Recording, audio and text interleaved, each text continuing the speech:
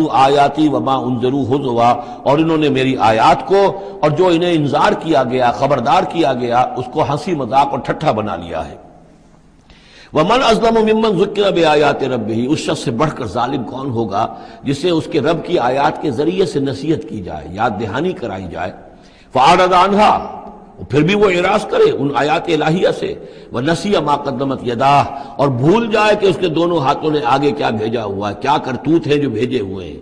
اگر تو ایمان لے آتا، ان آیات سے استفادہ کرتا، اپنے کیے پر پچھتاتا، توبہ کرتا، اس دنیا ہی میں اپنے سابقہ گناہوں کی اللہ تعالیٰ سے معافی لے کر جاتا۔ لیکن یہ کہ یہاں تو صورت یہ ہے کہ وہ من اسلم ممن ذکر رب آیات رب ہی اسے تذکیر کی گئی، نصیحت کی گئی اس کے رب کی آیات سے فعاد عنہا اس نے اعراض کیا وہ نسیہ ما قدمت یدا اور بھولے رہا وہ کہ کیا کچھ اس نے آگے بھیجا ہوا ہے، کیا جھانٹ جکار جو ہے اس نے عاقبت کے لیے تیار کیا ہوا ہے۔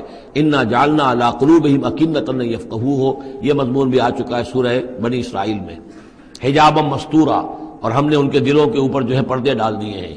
انا جالنا اللہ قلوب مکنت الفقو ہو ہم نے ان کے دلوں کے اوپر پردے ڈال دیے ہیں کہ اسے سمجھ نہ پائیں۔ وفی آزان بکرا اور ان کے کانوں میں ہم نے شکل پیدا کر دیا، بوجھ پیدا کر دیا کہ یہ سن نہیں سکتے۔ وہ ان تدعم ہل الہدا اور اگر آپ پکاریں گے انہیں ہدایت کی طرف دعوت دیں گے فلاں یہ تدو ازن ابدا تو یہ کبھی بھی ہدایت پانے والے نہیں ہیں۔ یعنی اب ان کے دلوں پر بہت لگ چکی ہے۔ اب اللہ تعالیٰ کا وہ جو قانون ہے، ہدایت و ضلالت کا، اس کی جو آخری دفعہ ہے وہ ان کے اوپر لگ چکی ہے، ان کے اوپر اپلائی ہو چکی ہے۔ وہ رب و کل غفور الرحمہ اور آپ کا رب جو ہے بہت بخشنے والا ہے، بہت رحمت والا ہے۔ لو یو آخد ہوں بما کسب الجن الحم العذاب۔ اگر وہ جو کچھ بھی ان کی کمائیاں ہیں، جو کرتوت ہیں، ان کے اوپر فوراً مواخذہ کر لیتا، تو تو بہت جلدی ان کو عذاب جو ہے بھیج دیتا۔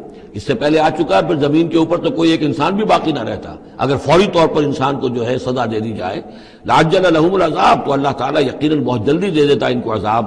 بل لہم معید نہیں، ان کے لیے ایک وقت ہے، وعدے کا وقت ہے جو معین ہے۔ لن یجدو من دونه موئلہ وہ اس سے کہیں سرکنے کی جگہ نہیں پائیں گے۔ جب وہ اجل آ جائے گی، جب وہ معید آ جائے گا، جو وعدے کا وقت آ جائے گا، پھر جیسے پہلے ہم پڑھ چکے، لا یستقدمون ولا یستاخرون۔ نہ اب آگے جا سکیں گے، نہ پیچھے۔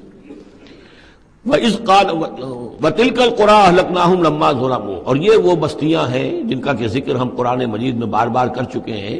یا احقاف کے اندر جو لوگ آباد تھے اور یہ جو ہجر میں لوگ تھے، اصحاب العقا تھے، وہ امورا اور صدوم کی بستیاں تھیں۔